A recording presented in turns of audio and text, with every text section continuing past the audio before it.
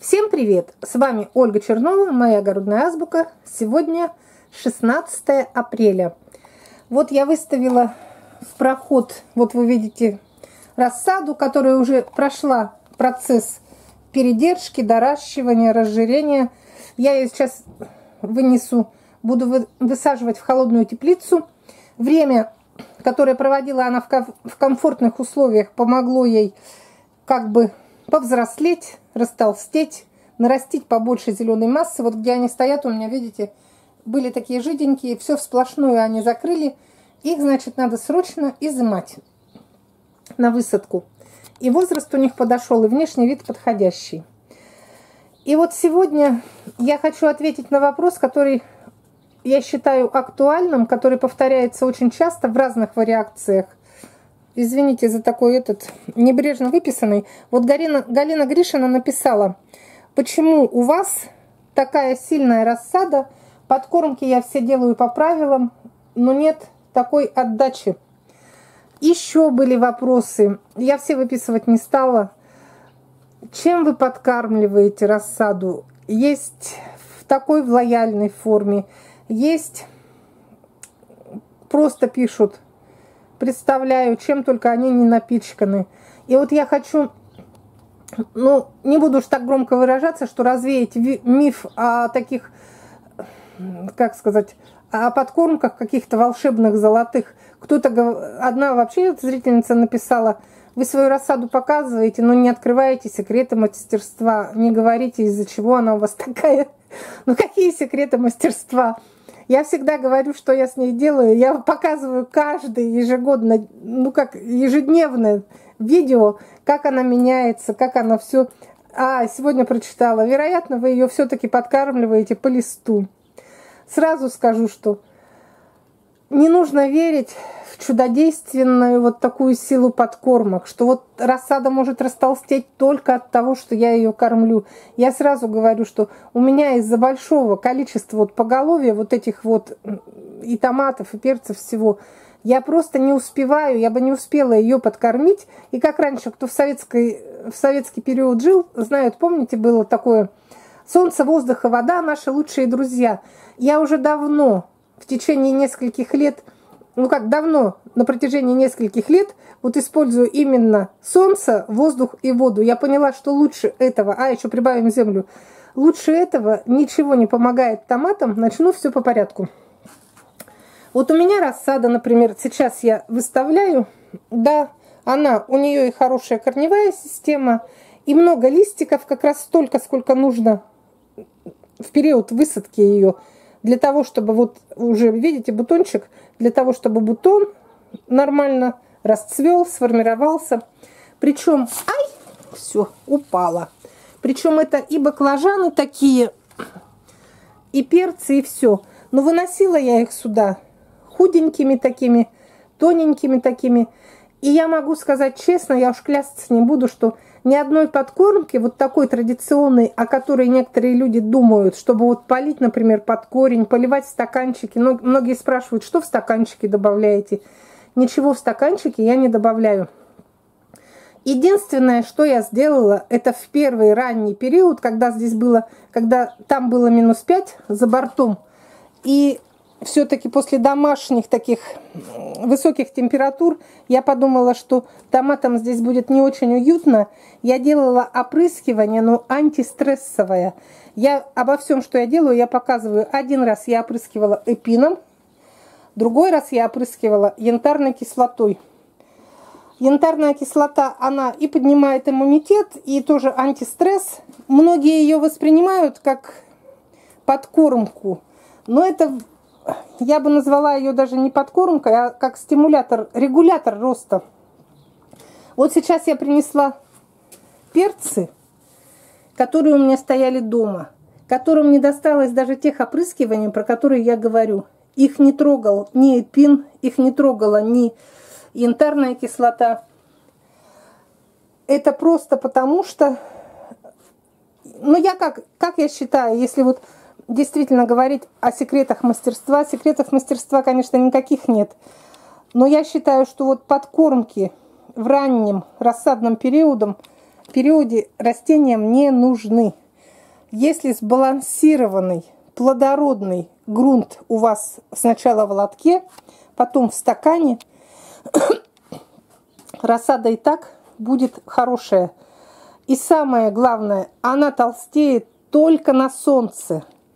Вы понимаете, когда я ее выставляю на солнце, она же здесь находится, вот у нас с 7 утра уже солнце выходит, и до самых, до 7 до 8 вечера по 12 часов оно находится под натуральным, естественным солнцем.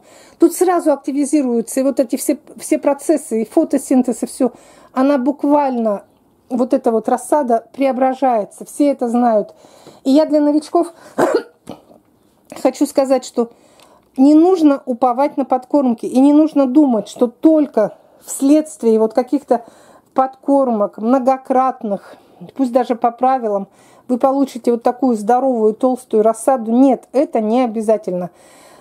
Как я перешла на выращивание вообще без подкормок? Ну, это очень просто. Я когда начала заниматься рассадой на продажу, просто когда много высаживаешь рассады и подкармливать ее очень сложно. Или просто полить водой, иногда даже из шланга, или вот это все намешивать, дозировки высчитывать. Я один раз не стала ничего делать, второй раз не стала ничего делать, и посмотрела и поняла, что никакой разницы нет. Что мы что-то там подкармливаем, добавляем, что мы не подкармливаем. Но человек же, он существо разумное. Если никаких изменений нет, зачем тогда делать лишнее телодвижение?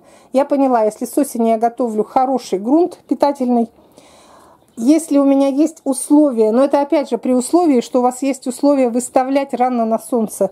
Вы видели, какую я сюда приношу рассаду? Она тоненькая, она жиденькая. Через две недели она превращается в здоровую, хорошую рассаду. И я еще раз повторю, что кто-то, если думает, что я что-то подливаю, подсыпаю в стаканчики, нет. Если бы я что-то туда подлила, мне бы не стоило об этом, ну как, ничего не стоило сказать бы об этом. Я бы сказала, да, я вот полный комплекс НПК, вот это черное, например, жидкое удобрение, развела в ведре и добавила. Я боюсь, наоборот, как бы она у меня не переросла, как бы она не стала еще толще, еще более облиствленная. Поэтому я, наоборот, боюсь применять какие-то вот эти вот подкормки только из-за того, чтобы она ее же не всю высаживать я буду завтра. Какая-то еще для следующей теплицы будет стоять. Я наоборот ничего туда не добавляю, что боюсь, как бы она сильно не пере... Ну, короче, мне ее нужно наоборот тормозить. Поэтому кроме воды она у меня ничего не видит. Только вода, только солнце и только воздух. Воздух это в том смысле, что должны быть все-таки перепады температур. Днем должно быть тепло, а ночью должно быть прохладненько. И в домашних условиях еще раз повторю, никогда, конечно, не вырастешь такой рассады. Вот даже у меня, я сейчас высаживаю, даже у меня рассада, несмотря на то, что я считаю ее хорошей, нормальной, все равно она немного вытянувшаяся, потому что, во-первых, здесь места ей мало. По идее, если получить еще более красивую рассаду, нужно ее реже расставлять. Если редко расставить, она вообще будет коренастая, она будет такая толстенькая, коротенькая. Но у меня нет условий, потому что рано насеяла для теплиц, и вот у меня они так скучно, она должна быть еще красивее, чуть пониже. У меня она чуть вытянувшаяся. Но ничего, я сейчас, когда ее высажу в холодную теплицу, вот это же для высадки сейчас приготовила я все вот эти, я ее когда высажу в холодную теплицу, рост вверх у нее очень быстро прекратится, она быстро станет коренастой, стволик растолстеет, начнет выкидывать он цветочный бутон, томат – и все будет хорошо. Все вот эти вот свои недостатки своей рассады я знаю, я знаю, как их исправить. Но вот именно только похолоданием, вот тут они в более комфортных условиях, там они будут в более, менее, ну в холодном. И она еще, последний недостаток мой, вот это вот вытягивание немножко, видите, она подвытянувшаяся. Она все вроде и толстенький стволик, и все, но все равно она вытянувшаяся. Вот это вытягивание у нее прекратится, она сейчас вверх расти не будет потому что там прохладно. Все. Ответ на вопрос, что я делаю не так, все подкормки делаю, а рассада э, никогда не такая не бывает. Иногда бывает, что подкормки и не помогают. Если у вас условия выращивания, например, в комнатных условиях, когда ночью жарко, днем жарко, как вот у меня было. Она не делается коренастой, она вытягивается, слабеет. И у людей, люди как по замкнутому кругу. Они вроде добавляют эти удобрения, эти подкормки, а ничего не сдвигается с места. Мне кажется, вообще, если рассада такая, ну, ненадлежащего качества, нужно вообще прекратить всякие добавки. Просто больше выставлять ее на солнце, закалять, и она исправится. Некоторые люди своими подкормками и добавками портят, загоняют рассаду в угол, портят ее вообще. Все, до свидания. Пока тут рассказывала про, про томаты, оглядывалась, заметила, что у, у этого у баклажана появился цветочный бутон. Вот тоже баклажаны, которые не видели ни разу в жизни никаких добавок, никаких подкормок. Им даже не досталось ни одного опрыскивания, потому что когда я делала опрыскивание, их, по-моему, здесь еще не было. Растут прекрасно, растолстели, несмотря на то, что они считаются как неженками теплолюбивыми. Видите, если бутон он выбрасывает цветочный, значит ему здесь подходящие, ну как подходящие условия.